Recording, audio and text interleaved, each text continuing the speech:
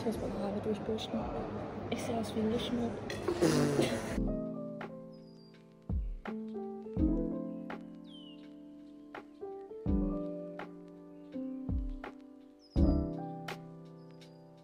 Hallo, hallo und herzlich willkommen zu einem neuen Video. Schön, dass du wieder eingeschaltet hast. Ich dachte mir halt, wie gesagt, ich vlogge mal wieder ein bisschen mehr. Ich bin auch mittlerweile schon wieder umgeschminkt und zu Hause. Ja, den Tag konnte ich leider nicht super viel mitfilmen, weil irgendwie wieder total viel war. Ich hatte erst vier Vorlesungen, davon ein Tutorium. Und danach, weil ich in der Fachschaft bin, habe ich mich noch mit äh, ein paar Leuten aus der Fachschaft getroffen. Und dann haben wir halt so Buddy-Zeug gemacht. Also ähm, uns wurde jeweils immer so ein Buddy zugeordnet. Ähm, um halt so ein bisschen in die Fachschaft auch gut reinzukommen und so. Und dann haben wir noch einen Kaffee getrunken. Genau, und die Sonne auf jeden Fall und das Wetter genossen. Denn demnächst soll das Wetter nicht so gut werden. Ich glaube nur so 17 Grad oder so. Und ich bin gerade dabei, ähm, Essen zu kochen. Und äh, werde mich jetzt gleich nochmal raussetzen und dann wahrscheinlich Netflix schauen. Weil ich irgendwie in letzter Zeit gar nicht dazu gekommen bin. Mhm, natürlich steht bald die Klausurenphase an. Aber ähm, ich wollte mich damit da jetzt noch nicht so krass einschränken, sondern das Ganze noch ein bisschen so genießen, dass ich jetzt noch nicht so viel machen, also noch nicht so krass lernen muss und noch nicht so krass Druck habe. Genau, deswegen werde ich mich jetzt gleich aussetzen und äh, ein bisschen Netflix schauen und aber auch schon ziemlich früh schlafen gehen, weil der morgige Tag wird auch total voll. Ich habe wieder vier Vorlesungen, ähm, aber diesmal komplett durch. Also von 8.15 bis 15.15. Heute war ich noch äh, für eine halbe oder für eine Stunde circa in der Bib. Und jetzt rede ich schon wieder viel zu viel. Ich wünsche euch noch ganz viel Spaß beim Video.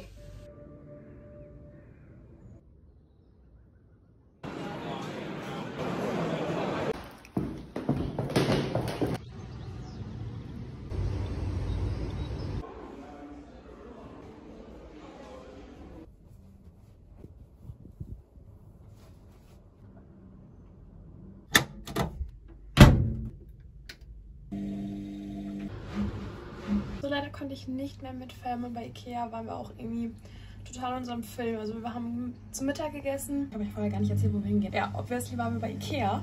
Und äh, danach bin ich nochmal in die Stadt, ganz kurz zu so einem Asialaden. Anschließend noch zu Edeka, weil ich wollte mir Kidneybohnen holen und mir mal Kidneyboni Brownies backen, weil ich gehört habe, dass sie ziemlich lecker sein sollen. Wegen ein kleines Experiment.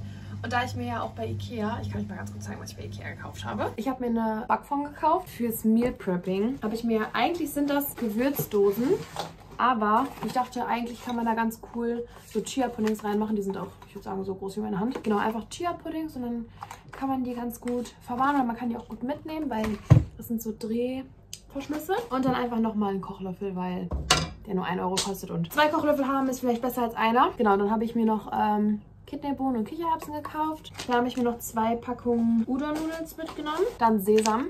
Und ich werde mich da jetzt an Zeug setzen, was ich von zu Hause aus erledigen kann, weil ich das irgendwie die letzten Tage die ganze Zeit aufgeschoben habe. Und ähm, ja, das stört mich ein bisschen, aber deswegen mache ich das jetzt. Ich war gerade auch total müde. Deswegen wird jetzt mal noch ein Red Bull getrunken.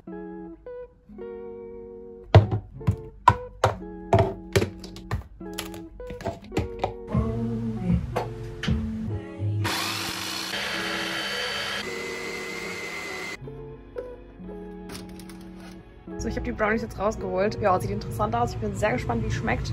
Ich werde es erstmal abkühlen lassen und dann, ja, machen wir einen Taste-Test später. Ich schaue jetzt gerade nach Unterkünften auf Malta, weil wir jetzt planen, entweder zu zweit oder mit ein paar mehr Mädels in Urlaub zu fliegen im August, dann nach den Prüfungen. Also entweder nach Malta, Athen oder Lissabon. Aber ich würde sogar eher am ehesten für Malta stimmen und als zweites Athen. Fände ich auch recht nice. Ich war aber auch noch nicht in Lissabon, also wäre alles eigentlich ganz cool. Aber ja, einfach mal schauen, was wir so Gutes finden. Hallo und guten Morgen. Ich habe schon wieder den nächsten Morgen. Man sieht, glaube ich, auch noch, dass ich ein bisschen müde bin. So fühle ich mich auch gerade noch. Ja, ich werde jetzt die Sachen, die ich gestern nicht abgewaschen habe, also das ganze Geschirr werde ich abwaschen. Das habe ich mir auch eigentlich angewöhnt, dass ich alles immer, wenn ich abends noch gekocht habe oder so, da irgendwas zu essen gemacht habe, dass ich das Geschirr immer schon abspüle, dass morgens, dass, dass ich direkt in den Tag starten kann und nicht mich noch um die ganzen alten Sachen kümmern kann oder muss. Ja, also das ist auch so eine Sache, die zu diesem Alleineleben irgendwie dazugehört, vor allem wenn man keine Spülmaschine hat. Genau, dann werde ich noch die ganze Wäsche von gestern abhängen und einräumen und werde mir gleich ein Frühstück machen. Ich werde mir zum ersten Mal wieder seit längerem Porridge machen. Porridge mit Beeren und vielleicht ein bisschen Proteinpulver noch rein. Wobei ich irgendwie, glaube ich, versuchen will, das ganze Süßzeug, irgendwie Supplement-Zeug durch wirklich natürliche Ernährung zu ersetzen. Ähm, aber irgendwie gelingt mir das nicht so ganz. Deswegen mal gucken, was gleich daraus wird. Genau, und dann muss ich ab 10.30 Uhr arbeiten bis 17.30 Uhr.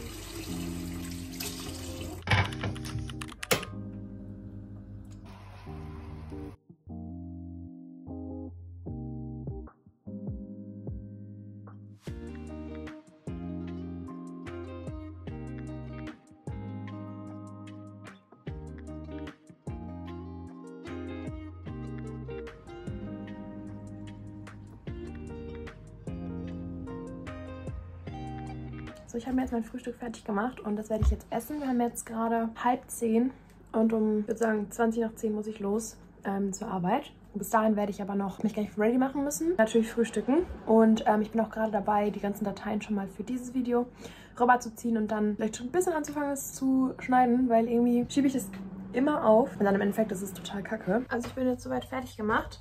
Und ich dachte, wir können ja noch mal kurz zusammen die Brownies zusammen probieren. Also da haben wir die hier. Auch noch ein bisschen mehr im Licht zeigen. Die sehen eigentlich echt nicht schlecht aus. Und wie hat der Taste Test? Ich meine wirklich lecker. Und man muss bedenken, hier ist gar kein Mehl drin. Nicht schlecht. Würde ich auf jeden Fall nochmal neu machen.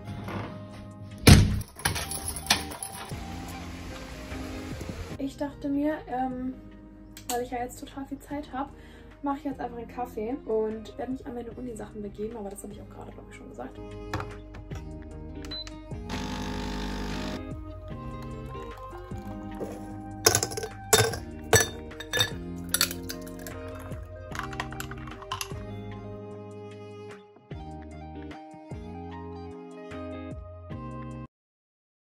Guten Morgen und wir haben schon den nächsten Tag. Ja, gestern habe ich dann doch nicht mehr so viel gemacht. Ich habe mich hingelegt und ich war so müde. Gestern war sowieso Feiertag, also hätte ich sowieso nicht viel machen können. Heute werden wir aber jetzt, also jetzt gleich werde ich einkaufen gehen. Jetzt gerade 9 Uhr und muss noch zu Turm, weil ich muss endlich irgendwas kaufen, damit ich diese Pflanze umpflanzen kann. Ich habe ja schon Blumenerde gekauft, aber keinen Topf, so einen Plastiktopf, damit ich es umpflanzen kann. Und sonst habe ich überlegt, ob ich später nochmal ins Dates fahre, ins Einkaufszentrum, weil das Wetter halt echt nicht gut ist, aber eigentlich brauche ich nicht unbedingt was. Und heute bleibe Make-up frei, damit meine Haut auch ein bisschen lüften kann.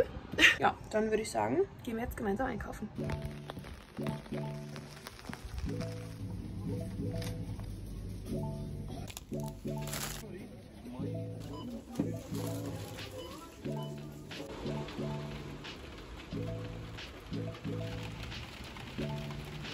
Ich bin jetzt auch schon wieder zu Hause.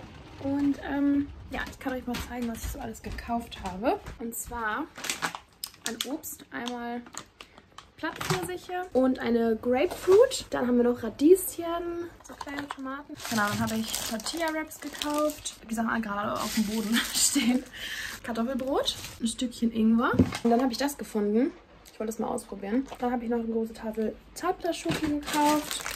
Die wollte ich mal ausprobieren, weil die habe ich da gesehen und die waren im Angebot bei Lidl. Genau, dann hatte ich den veganen Wurstaufstrich, eine Packung Blätterteig, einen Gouda. Das muss ich gleich auch nochmal hier alles rausnehmen. Dann habe ich noch Babyspinat, zwei Gurken, zweimal Lauchzwiebeln und in meinem äh, für Tiefkühl habe ich noch Heidelbeeren, Erbsen und Mango gekauft. Und noch eine Sojamilch. Und dann die letzten Sachen habe ich nochmal Zitronen gekauft, Kartoffeln und Datteln. Und jetzt haben wir auch schon halb eins und ich habe auch ziemlich Hunger. Ich habe auch heute Morgen ja nur diesen Smoothie getrunken. Ich weiß gar nicht, ob ich euch das jetzt abgefilmt hatte.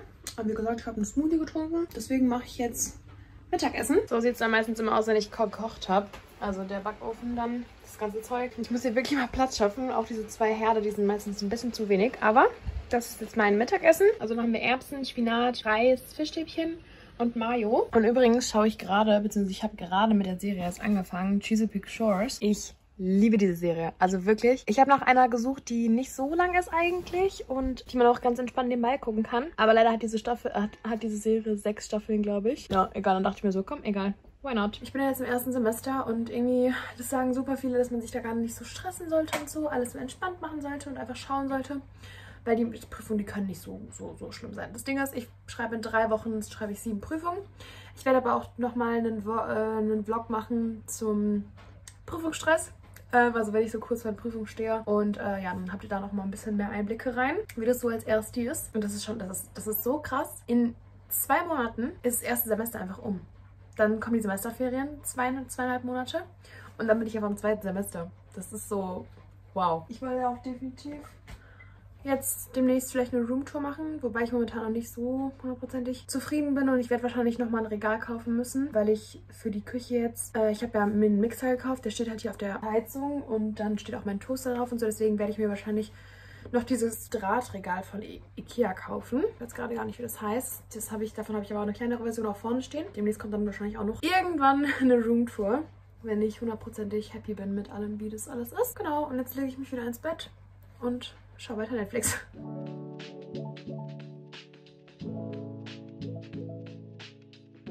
So, Freunde, jetzt ist endlich Zeit, diese Pflanze hier umzupflanzen. Ja, ich merke schon, wie trocken die auch ist. Jetzt habe ich alles hier so ein bisschen ausgelegt, werde mich da gleich hinsetzen und dann legen wir los. So, ich habe jetzt auch einen äh, Handschuh um und dann nehme ich das einfach für die Erde bisschen reintue. Das ist dann der neue Topf. Also das stand schon die ganze Zeit drin, aber ja, da muss halt das Ding muss aus der, die Pflanze muss aus dem Innentopf raus und es ist ganz wichtig, dass da dann was ist zum Ablaufen. Dass falls ein bisschen zu viel Wasser drin ist, dass das dann das Ganze abfängt. Ich habe es vorher noch nie gemacht. Mal schauen, was draus wird.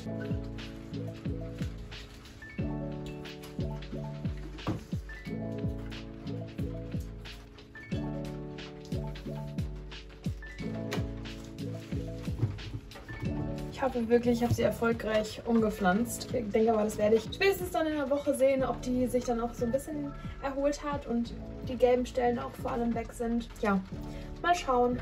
Jetzt aber erstmal diesen ganzen Mess hier sauber machen. Ich hoffe, ich bekomme das weggesaugt. Ähm, wo ich das hinschmeißen soll, weiß ich noch nicht ganz genau, weil ich habe keinen Kompostmüll. Das ist nur gelber Sack und da kommt Papier rein. Und sonst habe ich halt nur noch einen normalen Müll, aber ja. Auf geht's arbeiten. Ich finde es richtig krass, dass wir jetzt schon Juni haben. Der 1. Juni. Fünf Monate sind schon um. Ja, also ich bin jetzt auch wieder zurück von der Arbeit und ich bin komplett kaputt. Meine Knie tun extrem weh, meine Beine tun weh. Ich bin jetzt froh, wenn ich mir jetzt gleich Essen mache und mich dann einfach wieder ins Bett chillen kann und mich abschwingen kann und einfach nur Netflix gucken kann. Ja, weil, also das ist, es tut, ich weiß auch gar nicht, warum ich überhaupt stehe. Es ist einfach zu viel. Und ich merke halt auch momentan, dass mein Körper mehr Ruhe braucht, weil ich einfach fertig bin. Ich bin echt kaputt von so kleinen Sachen und ähm, schlafe auch irgendwie gar nicht so gut. Deswegen, ich muss ein bisschen zurückfahren. Mhm. Arbeiten war jetzt nicht so Bombe, weil es ist halt nie was, also es ist nichts los gewesen. Ich habe 5,90 Euro Trinkgeld gehabt, wovon 5,42 gerade für die Apotheke draufgegangen sind. Versuche ein bisschen weniger auf mein Konto zu zugreifen und nur noch auf äh, Bargeld, was ich dann halt habe, weil, as you know, Girl Math Math. Alles, was man Bargeld da hat und was man ausgibt, ist so als erst die da gewesen. Aber alles, was auf dem Konto ist, kannst du tracken. Deswegen, da gibt es auch wirklich noch was aus. Das ist Fact. Machen wir jetzt gleich, glaube ich, Chili Sankane und so Ofenstampfkartoffeln. Da habe ich jetzt richtig Bock drauf. Dann lasse ich den Abend ganz entspannt wieder ausklingen. Et voilà, das haben wir da Chili Sankane mit noch Sesam und Lauchzwiebeln getoppt und die Ofenkartoffeln. So, das lasse ich mir jetzt schmecken. Ich habe es wohl verdient. ähm, ich habe wirklich super Hunger und super Hunger auf was selbstgemachtes, vernünftiges. Ja, ich habe da jetzt richtig Bock drauf.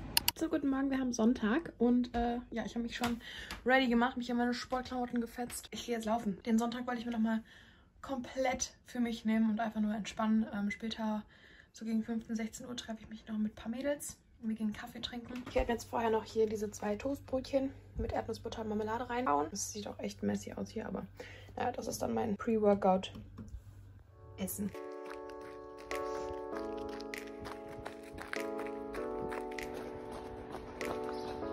Ja, ich bin jetzt wieder zurück. Man sieht, ich war joggen oder ich habe irgendwas gemacht. Ja, also ich war jetzt dreieinhalb Kilometer bin ich gejoggt und dann bin ich noch anderthalb Kilometer einfach gelaufen. Also am Anfang ein bisschen gelaufen oder gegangen und dann äh, dreieinhalb Kilometer gejoggt und dann am Ende nochmal ähm, einen Kilometer ungefähr. Oder das Stück einfach nach Hause. Also ich war ungefähr fünf Kilometer unterwegs. Wir wollen ja langsam wieder reinkommen.